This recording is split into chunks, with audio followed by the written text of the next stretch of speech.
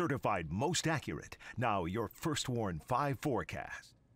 Good Thursday morning. I'm meteorologist Mathieu Mondro with your First Warn 5 update. Now this Thursday, another quiet day for us and comfortably mild this afternoon too. So any outdoor plans that you have are going to be in great shape. Here's a look at the Frankenmuth Oktoberfest forecast. It's actually the first day of the event. It runs all through the upcoming weekend. It's in Heritage Park in Frankenmuth. Starts up at 3 p.m. this afternoon. Should be right around 70 degrees by then, closer to 74 to possibly even 75 degrees by around 4 to 5 o'clock this afternoon. Still holding on to that dry weather all through the evening. It's going to be a nice day out there in Frankenmuth. Wider look at those high temperatures, lower 70s in the western sections of the thumb. You see upper 60s though on that eastern shoreline. And we have more lower to middle 70s the farther uh, west and even the farther south you go to Flint, you could get closer to around 77 this afternoon. So again, going to be comfortably warm with our lower humidity as well. First Warn 5 Sky Tracker has the system farther off to the west in the Dakotas. That brings rain chances for the weekend. But until then, we still stay dry, just partly to mostly sunny for today on your First Warn 5 hour by hour.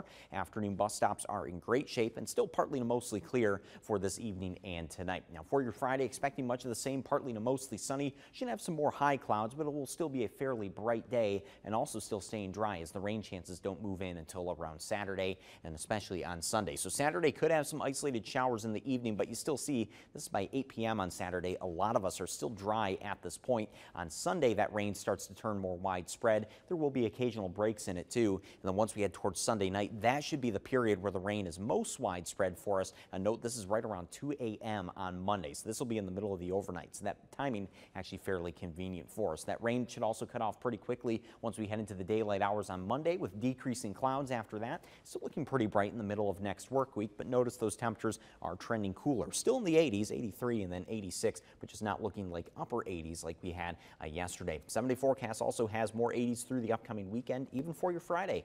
We're back up to 83 degrees. Stay with WNEM TV5 on air, on the go, and online for more news and weather updates.